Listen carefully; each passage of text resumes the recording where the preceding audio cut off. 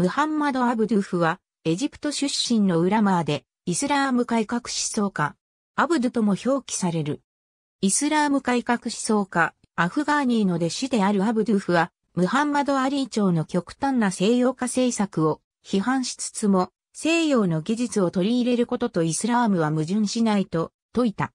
一方で、イスラームの伝統に必要以上に固執する従来のウラマーの姿勢も批判し、イスラームが成立した当時の精神に立ち返って柔軟な法解釈を行うべきであるという主張を行った。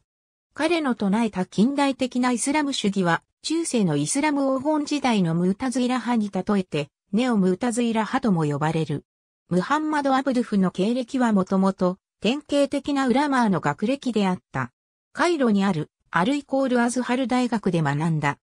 しかし、学生の時にジャマール・ティーンがアフガーニーの思想に共鳴し、1877年にアルイコールアズハルを出ると教鞭をとっていたが、アフガーニーのエジプト追放に連座する形で、1879年にカイロを追い出された。翌年にはカイロに戻り、ウラービー革命に参加した。アフマド・アラービーによる1882年の革命に関わったため、一時期亡命生活を送った。1884年にはアフガーニーと共にアラビア語による評論誌、仇、絆を亡命先のパリで刊行している。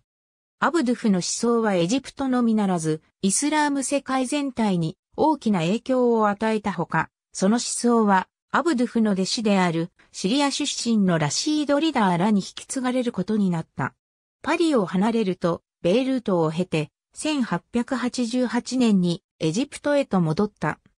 イスラーム法学者として様々な職に就いた後、1899年よりムフティにつき、1905年に死去するまで、生涯その地位に留まった。ありがとうございます。